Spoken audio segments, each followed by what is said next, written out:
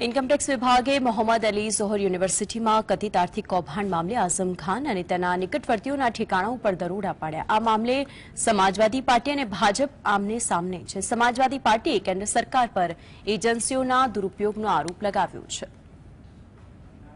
બુધવારે સમાજવાદી પાર્ટીના નેતા અને પૂર્વ સાંસદ તેમજ પૂર્વ કેબિનેટ મંત્રી રહી ચૂકેલા આઝમ ખાનના ઠેકાણાઓ પર આવકવેરા વિભાગે દરોડા પાડ્યા હતા.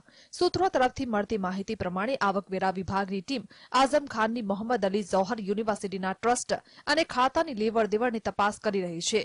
આવકવેરા વિભાગની કાર્યવાહી પર સમાજવાદી પાર્ટીના અધ્યક્ષ અને ઉત્તર પ્રદેશના પૂર્વ મુખ્યમંત્રી અખિલેશ યાદવે કેન્દ્ર સરકાર પર નિશાન સાધ્યું હતું. અખિલેશ યાદવે પોતાના સોશિયલ મીડિયા એકાઉન્ટ પર એક પોસ્ટ શેર કરીને લખ્યું છે કે સરકાર જેટલી કમજોર બનશે એટલી જ વિપક્ષ પર દરોડાની સંખ્યા વધતી જશે આ પહેલા ટીડીપીના અધ્યક્ષ અને તમિલનાડુના પૂર્વ મુખ્યમંત્રી ચંદ્રબાબુ નાયડુની ધરપકડને લઈને પણ અખિલેશ યાદવે સરકાર પર વિપક્ષને ડરાવવાનું અને સત્તા સાથે ન હોય તેમને જેલમાં નાખી દેવાનું ચલણ શરૂ થયું હોવાનો આરોપ લગાવ્યો હતો अखिलेश यादव जी का जो ट्वीट है तो वह ट्वीट उनको कम से कम ऐसे मामले में नहीं करना चाहिए था।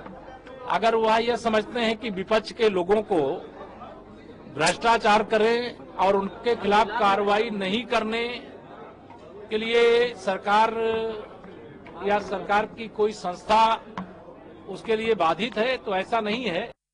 સમાજવાદી પાર્ટીના સત્તાવાર સોશિયલ મીડિયા એકાઉન્ટ પર પણ ભાજપ સરકારને તાનાશાહ ગણાવીને તેમના પર કેન્દ્રીય એજન્સીઓનો દુરુપયોગ કરવાનો અને આઝમ ખાન સત્યનો અવાજ હોવાનો દાવો કર્યો હતો. Bureau report GSTV